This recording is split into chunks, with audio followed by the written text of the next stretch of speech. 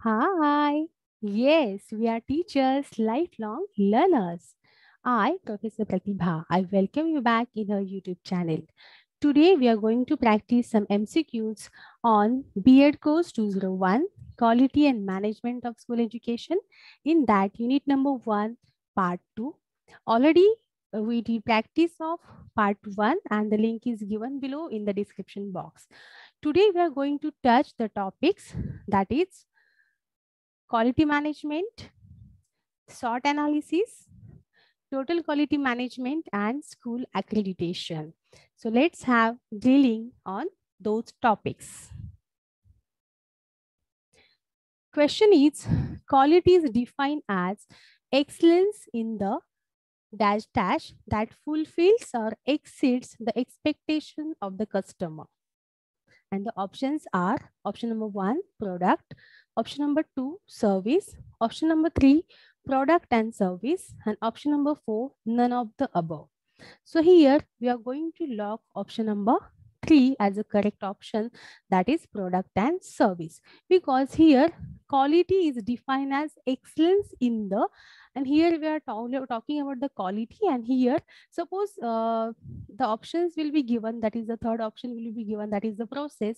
So automatically we are going to select that option also like product process and service. Okay but here that option is not given. So whatever options are given here from those options we are going to select the correct option. So here product is given service is given so here we are going to select option number three as the correct option that is product and service.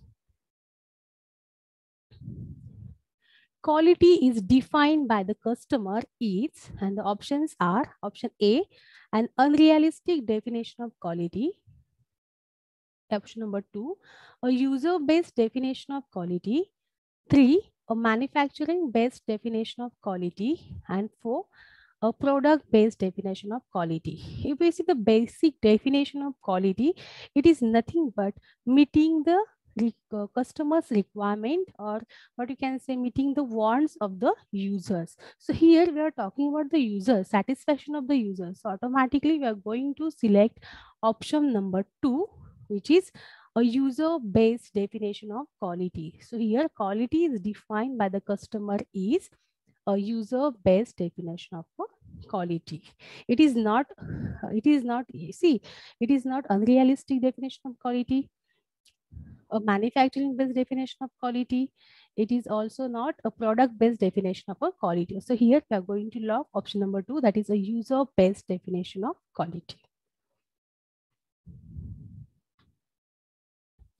Then this question is that is inspection is a part of and the options are quality control quality planning quality improvement and quality circle. Okay. So inspection means what? Inspection it is nothing but the careful examination or in simply we can say the scrutiny. Okay. So basically inspection is done for it is not for the planning it is not for the it is not a circle.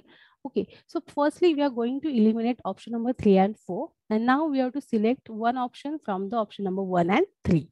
So here it is inspection. It is not for quality improvement also because inspection is basically to maintain the quality or to control the quality. So here we are going to lock option number one as a correct option. Yes. The next question is Quality management includes forming and directing a team of people to achieve a qualitative goal within a effective cost and time frame that results in and the options are option number one a project completed in shortest possible time. Option number two a product or service that conforms to the required specifications Option number three, an award-winning product that brings public recognition to the project.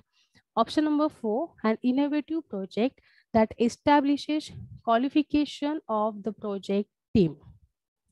So firstly, we are going to eliminate the option number one and option number three because see here there is a formation of a team of a people and direction is also given to the team of a people and the main thing is to achieve a qualitative goal within the effective cost and the within the given time period.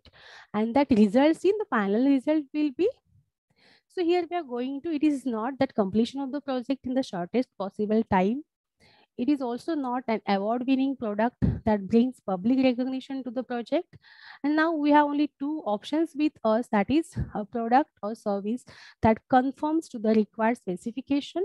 And the last is an innovative project that establishes qualification of the project team.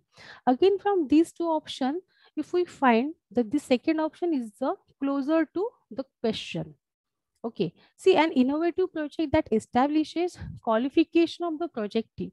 So it is also not related to the establishing the qualification of the project team. Okay, because whatever team they are having, they are just forming the team. They are just directing the team and they're achieving the qualitative goal within the effective cost and the within the given time frame. Okay, so here we are going to log option number two, that is a product or service that conforms to the required specifications. Yes, because quality management basically it gives emphasis on the product and service.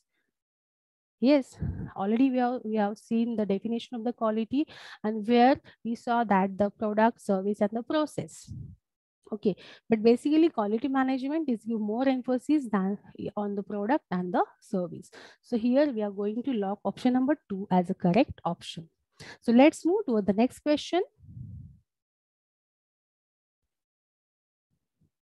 Yes this is the first question related to the SWOT analysis and see internal factors of SWOT analysis are so basically SWOT analysis okay so here SWOT analysis it's, if we see the full form that is SWOT, it is nothing but the S stands for strength, W stands for weakness, O stands for opportunities, and T stands for the threats. So out of these four factors, these are the four factors, okay, of SWOT Out of these four factors, what are the internal factors of SWOT analysis? Okay. So here internal factors so whatever factors are here we are going to divide the factors into internal factors and external factors so here the internal factors are yes yes the strengths and weakness they are the internal factors of SWOT analysis and of course the remaining two that is opportunities and threats they are the external factors of SWOT analysis yes so what exactly it is the strength and weaknesses Yes, these are the internal factors and they're internal to the organization. Yes, so here the strengths, these are the factors.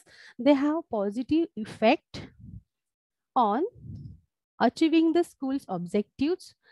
The weaknesses, they are the factors. They have uh, what we can say uh, the negative effect on the achieving the school's objective but these are the related to the these factors they are related to the organization that particular organization that is schools so it comes under the internal factors okay and the remaining two they are that is opportunities and stress they are presented by the environment external to the organization or we can say the external to the schools Okay, so here opportunities and threats, these are the external factors. Yes. So here again, if we see uh, uh, regarding the opportunities, they are the external factors that are likely to have a positive effect on achieving or exceeding the school's objective or goals not previously considered. Okay, and what about the threats? Of course, we already we saw that threats are the external factors or the external conditions. We can see that outside environment of the school, okay, not the school environment, but they are it is the outside environment of the schools. They have negative effect on achieving the school's objectives. Okay so the all these factors they are related to achievement of the school's objectives. Some are the internal means the the environment inside the school and environment outside the school. So here strengths and weaknesses they are the factor inside the organization or environment what we can say uh, the uh, internal to the organization you can say. Yes this is the next question related to SWOT analysis a SWOT analysis can be used to, if we see there are the many uses of the SWOT analysis and uh, options are given below. You have to find out the SWOT analysis can be used. You have to find out the find out a use. And the options are explore new solutions to problems. Second, identify barriers that will limit goals or objective. Third, reveal possibilities and limitations for change. And fourth, all of the above. So actually, if we see SWOT analysis, it is useful to explore the new solutions to the problem, to identify barriers that will limit the goal or objective, to reveal possibilities and limitations for change. So all three are the uses of the SWOT analysis. So here we are going to log option number four as a correct option. So here I'm going to log this option number four. Yes. Now let's move to the next question. But before that, please like this video, share this video with your friends and if you have any comment related to this video or if you want any new video on the new topic please write your comment immediately in the comment box if you are new on, on the channel then please subscribe the channel and please press on the bell button so that you will get uh, notification of the upcoming videos yes so let's take more drilling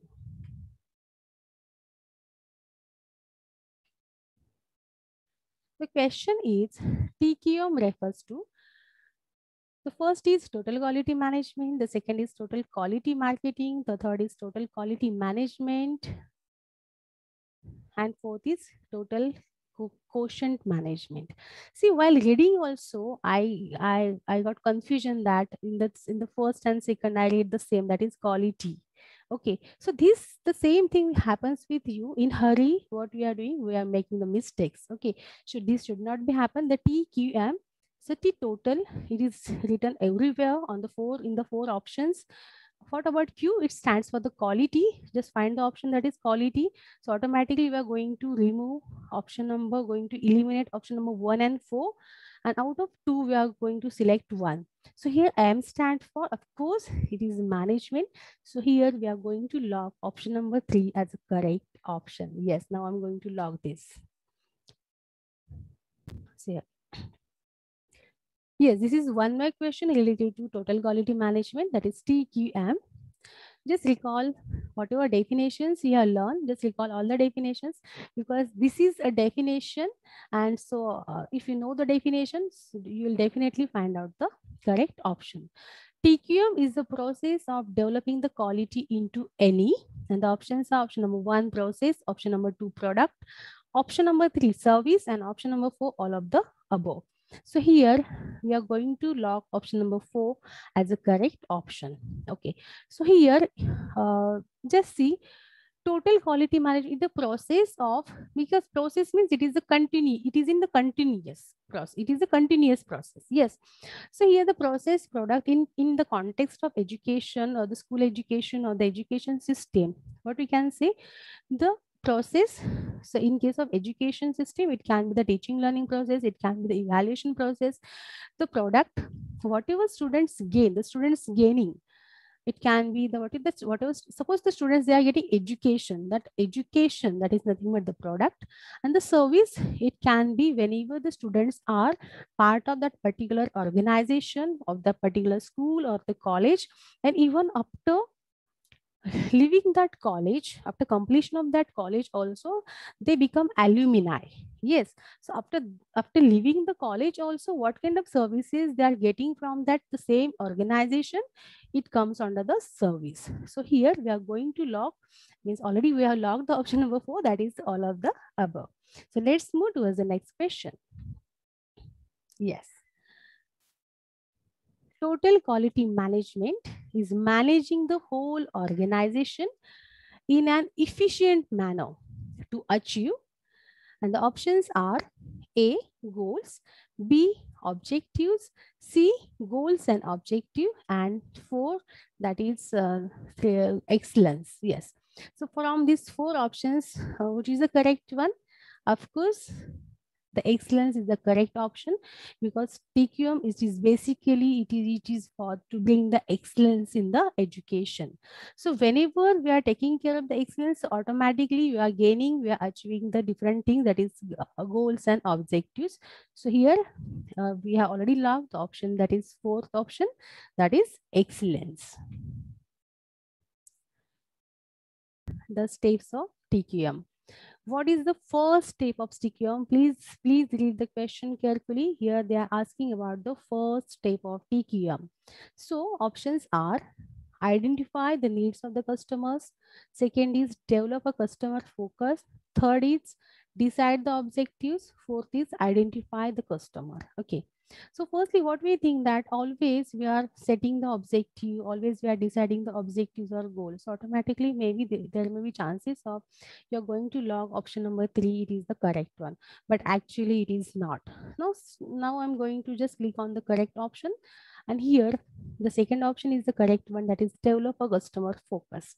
So here first, suppose the teachers they are developing their customer focus or the management means what for example, they should know here, here the, who is the main customer? If we see in the TQM, the student is the main customer.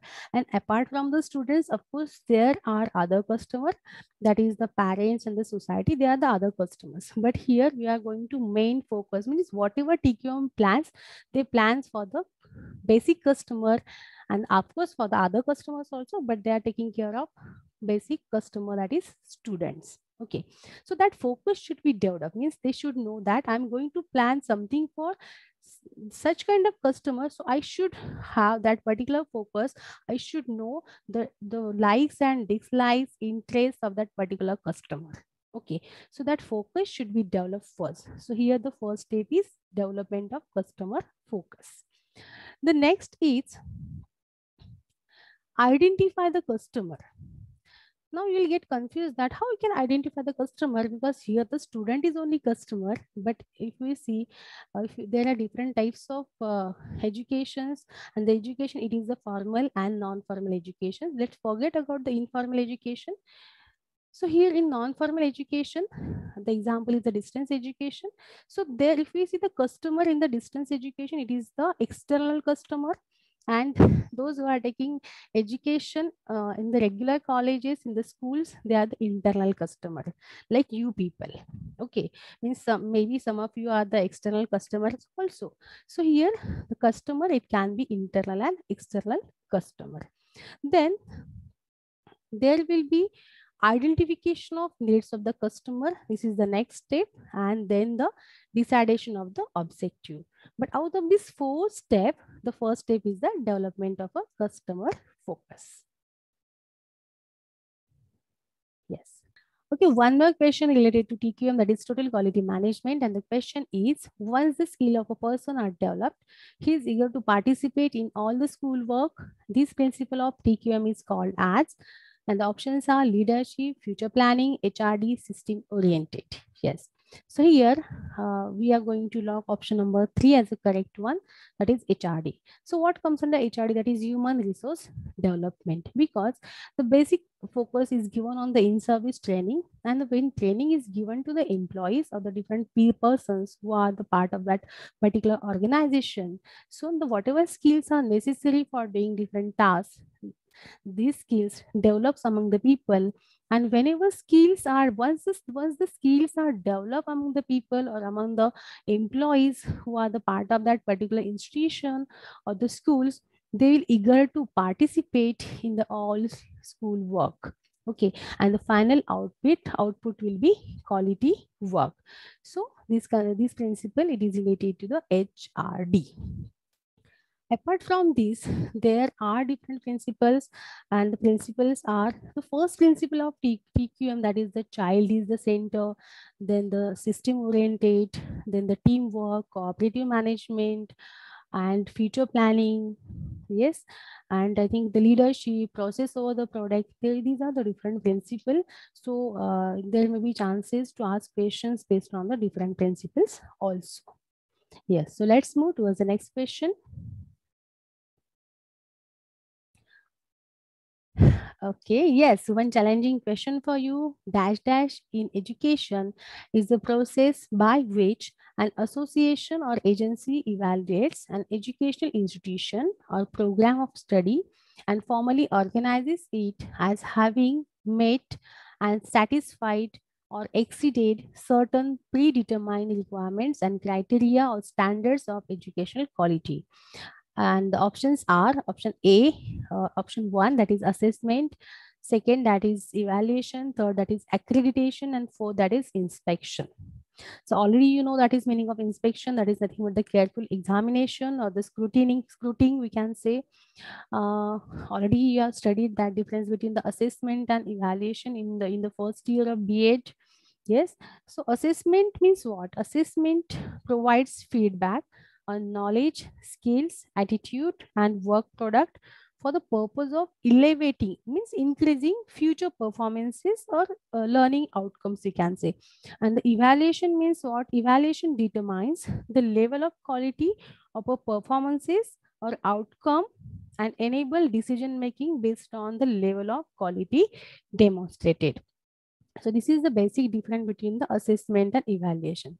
So automatically we are going to eliminate option number one, option number two, and option number four. Then accreditation, if we see the meaning of accreditation, it is given here. That is accreditation in education. It is a process by which an association or agency evaluate an educational institution or program of study and formally recognizes it as having met and, and uh, satisfied or exceeded certain predetermined requirements and criteria or standards of educational quality. So here we are going to lock option number three as a correct option that is accreditation. One more question based on the school accreditation.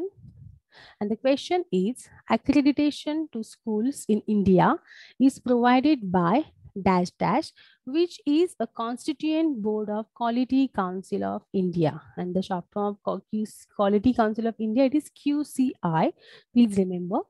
So here the question is accreditation of school in india is provided by dash dash which is a constituent board of quality council of india. And the options are option 1 national assessment board of education and training Option 2, National Accreditation Board of Education and Training. Option 3, National Accreditation Board of Education and Technology. Option 4, National Accreditation Board of Education and Teaching. Yes. If we see in the bracket, everywhere it is given that is NABET, N-A-B-E-T. Yes. The NABET, it is the constituent board of Quality Council of India that we can say the QCI, but here everywhere it is given as a NABET. So now we are supposed to find the correct option. Yes. So NABET, as A, stand, A should be stand for the assessment, not should be assessment, it should be accreditation. So automatically we are going to eliminate the option number one. Yes, that is national assessment. And from the remaining three options, we have to select the one option. National, yes, of course, it is a national accreditation board. Yes, of education, it is in the three uh, remaining three options, education, education, education. The difference is the training, technology, and teaching. Okay, so here, which is the correct option? If we see the full form of NABET, it is National Accreditation Board of Education and Training. So here we are going to log option number two as a correct option. You should know the full form of this T. It is not for it is not technology, it is not teaching, it is training. So here already we are logged this option number two that is National Accreditation Board of Education. Yes, there may be chances of asking question on the same that is accreditation to school in India is provided by NABET which is a constituent board of dash dash. And the options will be one option will be that is QCI uh, the Quality Council of India. And you're supposed to remember the full form of QCI Quality Council of India. Yes. Yes again i request you if you are not yet like this video please like this video. Share this video with your friends. Write your comments in the comment box right now. And so if you are new then please subscribe this channel and please press the bell button so that you will get notification of the upcoming videos. Thank you. Bye-bye. See you soon with the next video.